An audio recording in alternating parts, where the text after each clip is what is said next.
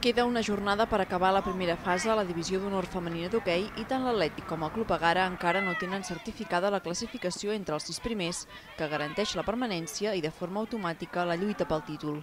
Aquest diumenge els dos equips s'han enfrontat al Pla del Bonaire en el derbi de la jornada, que ha acabat amb empat a dos. Carola Salvatella, en una acció d'habilitat, ha avançat les ratllades en el minut 6. Les de Cansades, però, han capgirat el marcador abans del descans. Anàlia Belda, de penal córner, ha establert l'empat i a un minut per a la mitja part, Marta Grau aprofita un refús dins l'àrea per col·locar l'1 a 2. En el segon temps, la Gara ha estat molt superior i ha buscat amb insistència l'empat, però Txell Grau ha estat providencial sota pals. Els àrbitres també han anul·lat un gol al conjunt d'Adrian Luc, tot i que la recompensa ha arribat a 3 minuts per al final, quan de nou Carola Salvatella ha fet el definitiu 2 a 2. Yo creo que la primera parte fue bastante igualado, eh, nosotros tuvimos más contraataques, posiblemente Athletic tuvo un poco más control de la bola y luego creo que en la segunda parte sí que dominamos más el juego, eh, todos los centrales fueron nosotros y nos faltaba acabar de rematar un penalti o una jugada para, para ganar el partido.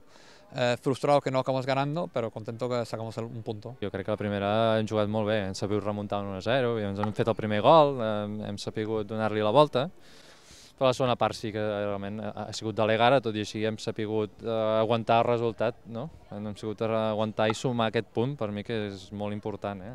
El Club Agara, setè amb 11 punts, rep diumenge al Taboriente, mentre que l'Atlètic, cinquè amb 12, visita l'Alcalà.